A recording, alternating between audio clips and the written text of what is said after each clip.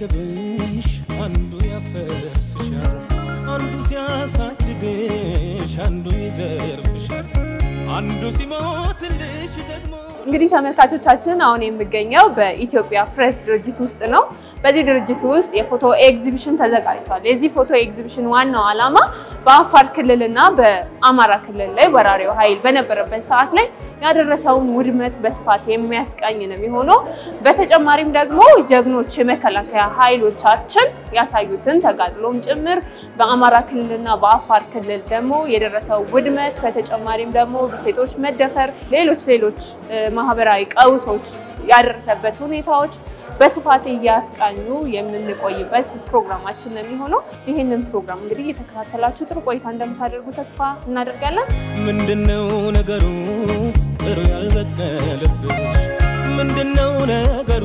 በእኛ ሀገር ፎቶግራፍ ብዙም አልተለመደም እንደዚህ ፎቶ አውደሪዎች እና እነዚህን ፎቶግራፎች ስናስቀምጥ ዛሬ ላይ ሆነ ስናያቸው ፎቶዎች ናቸው። ለነገ ትውልድ ግን ታሪክ ነው፣ ማንነታችን ጭምር ነው። የት እንደነበር ነው ያመላክታል። ፎቶ አፉን አውጥቶ አይናገር እንጂ ብዙ መልእክት በውስጡ አለ።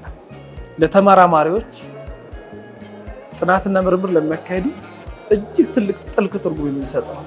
ለሚዲያ ባለሙያዎች በወቅቱ የነበረው የሚዲያ ደረጃና የአገሪቱ ሁኔታ ለመገናኛ ብዙሃን የሚሰጠው ክብርም አንዱ መገለጫ ነው። ሁለተኛ በዚህ ፎቶ በእንዲህ አይነት ሁኔታዎች ውስጥ ህብረተሰቡ ማስተማር ይችሉ ነበር ብሎ ቀጣይ ትውልድ የበለጠ እንዲማርበት የፎቶ ምንነት የሚያውቅበት ፎቶግራፍ ምስሎች ተናጋሪ መሆናቸውን የሚረዳበት ትልቅ ወይ ነው አንዱ ሚዲያ ነው። ይሄንን ለማሳወቅም ጭምር ታሪክ የሚሰነድበት የሚነገርበት ድምፅ ሳይኖራቸው የሚሊዮኖችን ድምፅ ማስተጋባት የሚችሉ ናቸው ፎቶግራፎች።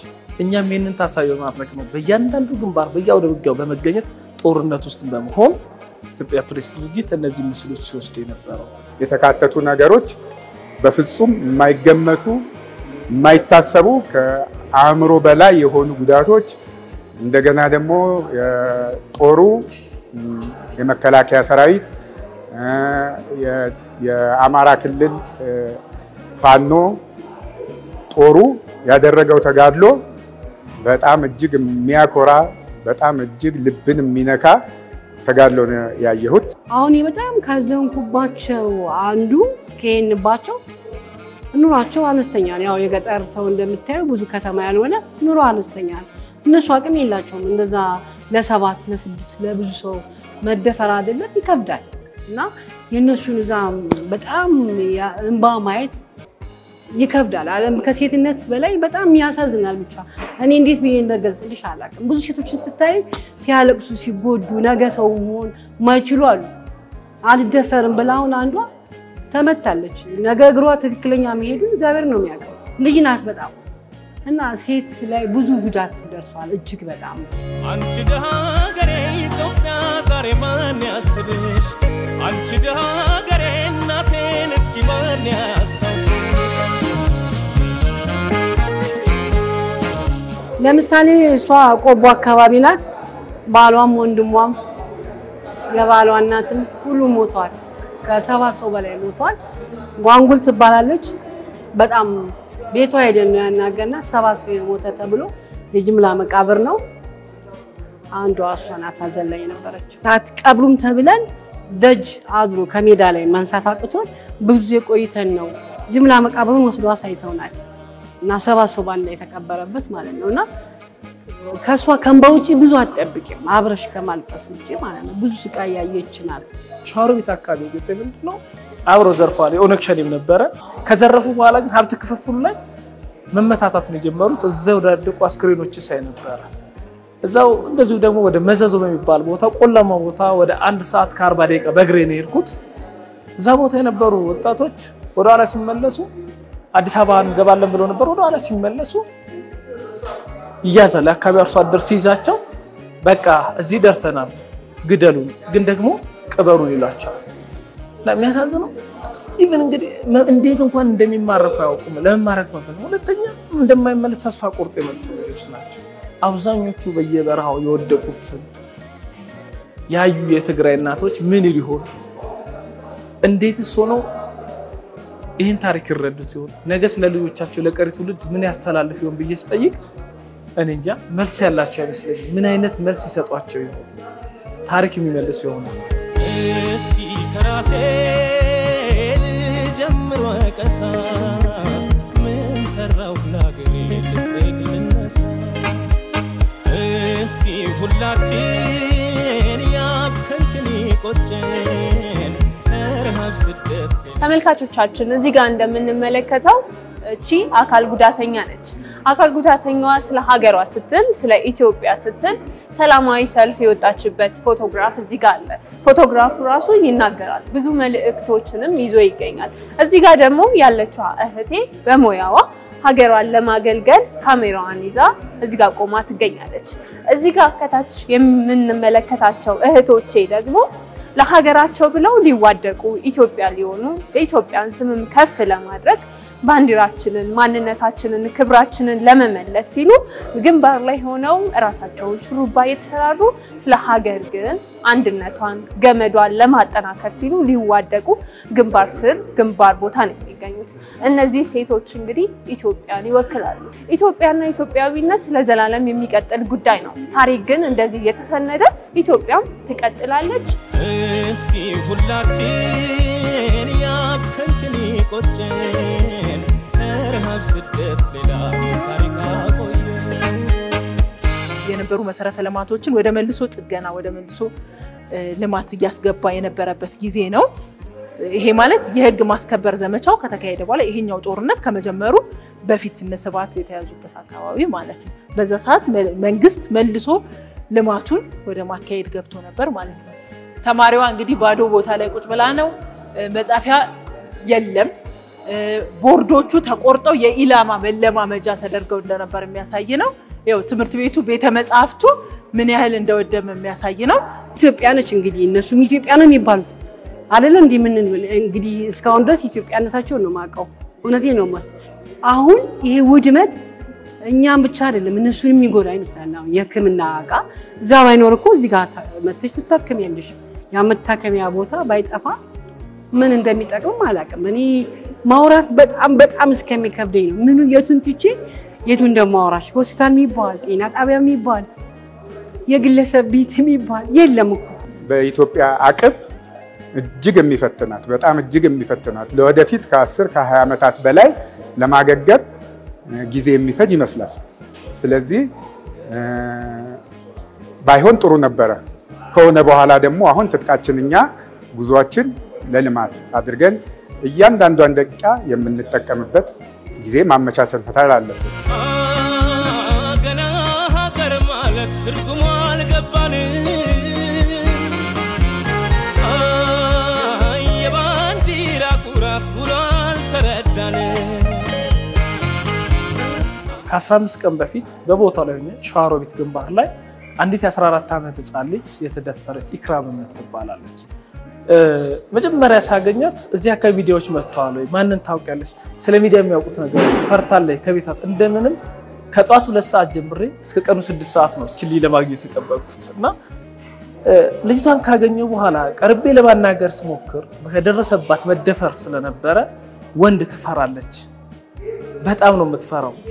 በእንዲህ አይነት ጊዜ በዘገባ ጊዜ ከሚገጥሙ ትልቁ ፈተናዎች ውስጥ እንደዚህ አይነት ጉዳት የደረሰባቸው የስነ ልቦና ጉዳት አለ፣ አካላዊ ጉዳት አለ። ቀርቦ ለማናገር በጣም ያስፈራል። በተመሳሳይ እዛው ሸዋሮቢት ላይ ሰባት ሆኖ ደጋግሞ የደፈሯት አንዲት እንስት አግኝቻለሁ። ከጎጃም አካባቢ ወደ ሸዋሮቢት ለስራ ነው የሄደችው። እያናገርኳት ተነስታ ጥላኝ ሄዳለች። ልክ እነዛ ሰዎች የደፈሯት ነው የመሰላት። ለማረጋጋት ሞክር። አንዳንዶች እንባቸው መቆጣጠር አይችሉም እና ምን አይነት እንደ የጥላቻ መርዝ ቢዘራባቸው ነው እነዚህ ሰዎች ሲያደርጉ ወንዝ እያለሽ አልለማሽም፣ ልጅ እያለሽ አልተጦርሽም።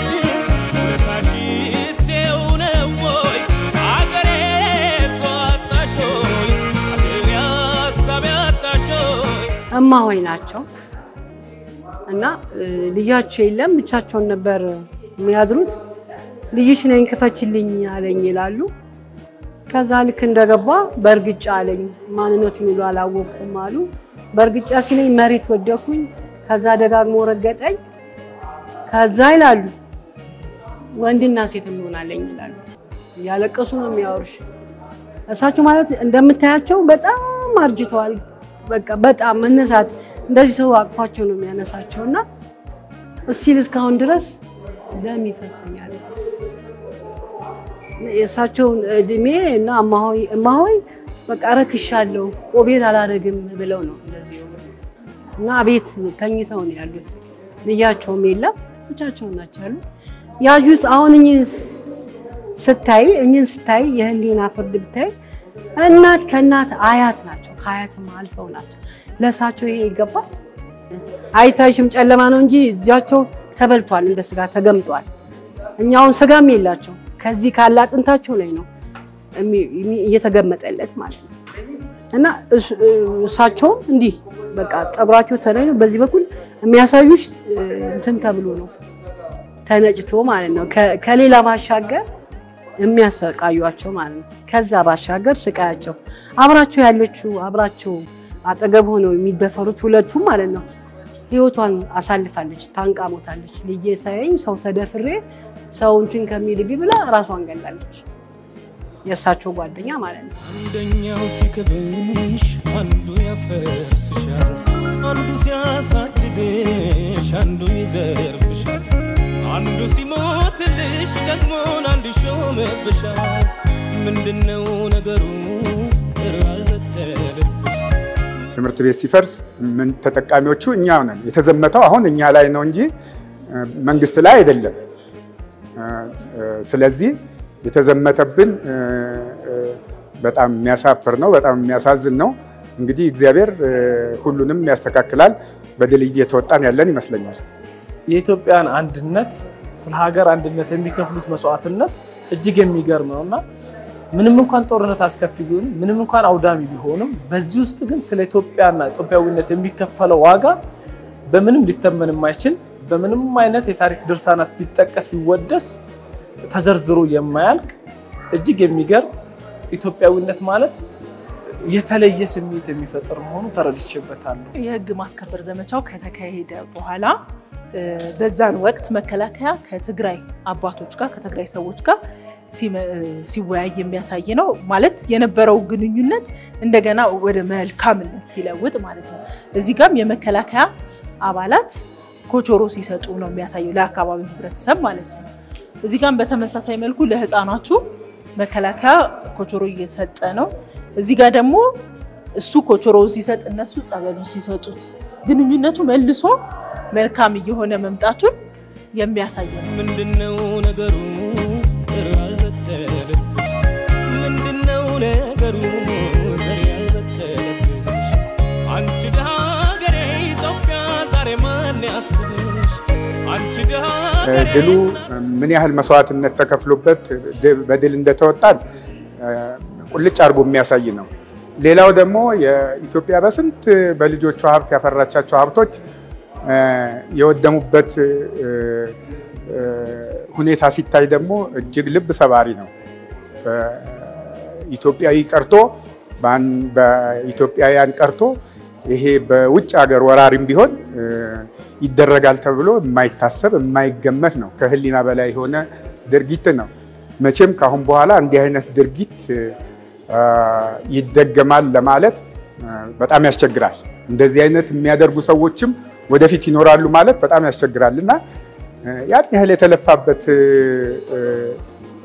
ሀብት በእንደዚህ አይነት አንድ ዓመት ባልሞላ ጊዜ ውስጥ እንደዚህ አይነት ውድመት ሲደርስበት በጣም አሳዛኝ ነው። የሀገር ስሜት በቃ ከምልህ በላይ ከዛ ሄደን እነዚህ አሁን ድል ልክ የኛው ምሽጉ ተሰብሮ ረጅም የሆነ ተኩሶች ተደርጎ fight ተደርጎ ከጊዜ ከሰዓታቶች ምናምን ካለፉ በኋላ እሷ ት እዛ ያለው ኮሎኔል አዋጊ ያው ስም መጥቀስ ስለማያስፈልግ የኮሎኔል አዋጊ አብራ እንትን guard ናት እና ውጊያው ላይ ከእሳቸው ጋር ሴቨር ሆና የምትንቀሳቀስ ናቸው። ሌሎችም አሉና ድል አድርጎ ከአዋጊዋ ጋር ስትመጣ አየኋቸው። እኔ ከሆነ መኪና ላይ ወጥቼ ኦራል መሰለ ያው እዛ ላይ ወጥቼ እየመጣሁ ነበረ ፎቶ እያነሳሁ ድላዱ ወታደሩ ሲገባ ልክ ሳይ የሆነ እንትኗ በቃ የሆነ አንበሳ ነው የምትመስል። ከዛ ወዲያውን አየሁና በቃ ያው ፎቶ አንድ አትውስጥ መታ መታ መታ መታ አረኳት።